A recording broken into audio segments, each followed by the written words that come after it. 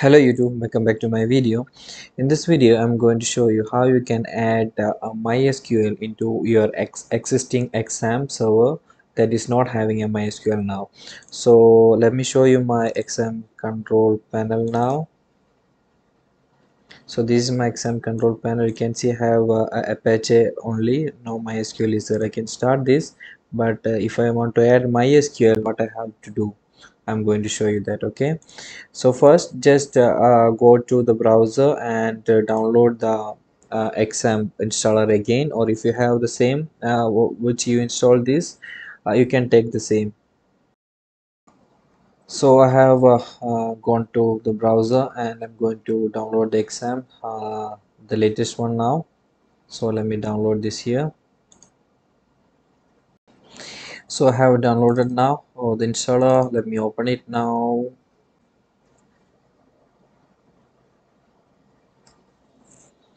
It's saying uh, antivirus is running uh, can continue the installation no problem with that. Press next.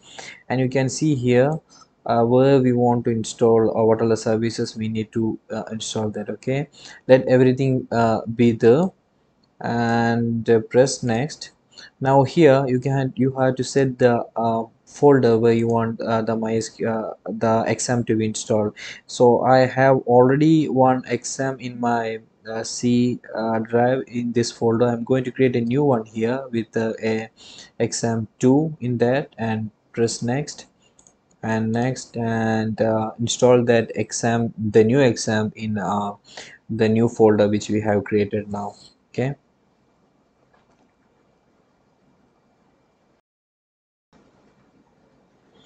so uh, XAMPP2 installation is finished. Uh, let's open it and see all the files are there okay? Now what we have to take is uh, the mysql folder where all the uh, files of mysql are there from the new folder. Just uh, new installation copy there and put it in your old uh, files okay?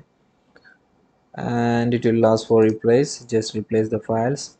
And uh, in the old XAMPP folder go to XAMPP control uh, .ini open it and we can see here mysql uh, this is the service which is currently uh, installed in this um, XAMPP okay? So uh, available in this exam uh, XAMPP so it is not uh, activated just put it as one and save it from here.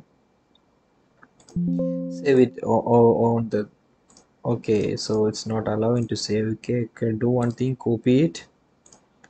Copy it uh, somewhere. So copy it in some another folder and uh, you can open it. As i told uh, uh this is the list of services which is uh, uh, currently active in the exam XAMPP server which we have already installed. So there you can see mysql is equal to 0 you can enable it by setting it as mysql mysql is equal to 1 uh, just save it. So uh, once it is saved uh, you can copy this uh, to the exam folder. Where the XAMPP control.ini is there. Paste it and replace it from there. Okay so it will ask for the permission. Just replace it uh, from there. And you can see now I can go to the control panel. You can see my MySQL has a start button which means uh, my MySQL is enabled in that. Let's uh, try to start the MySQL now.